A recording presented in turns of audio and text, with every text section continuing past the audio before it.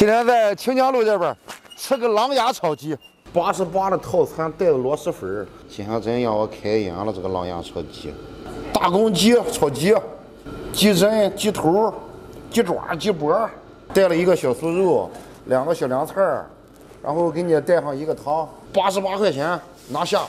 这个炒鸡吧，说鸡不说八啊，这个炒鸡，其实在青岛这边布局已定。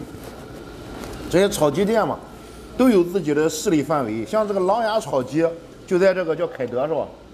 凯德清江清江路一线，可以说是炒鸡界的天儿了，知道吧？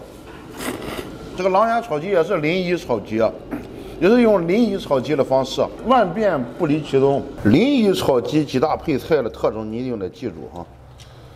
蒜瓣儿必须有，这种杭椒特别辣哈，这个杭椒必须有。葱头、葱段儿、红辣椒必须有，这就是临沂炒鸡的特征。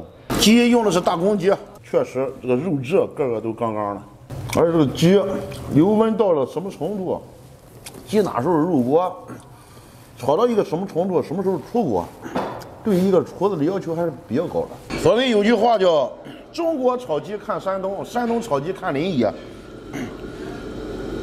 传说没有一只完整的大公鸡 能活着离开临沂。第一次不讨厌螺蛳粉，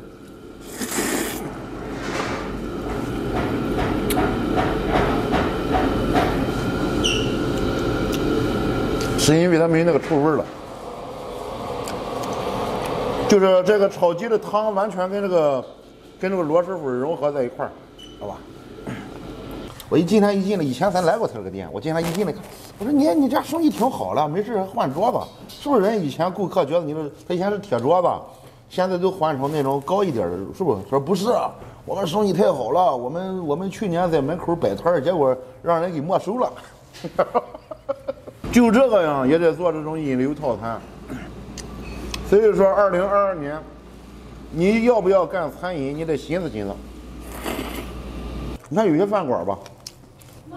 你可以说它是它是酒酒店，就像啤酒屋，你去它里面就是下酒菜，你吃饭非常不合适。那有些地方嘛，你只能吃饭，哎，你你你你你没有下酒菜。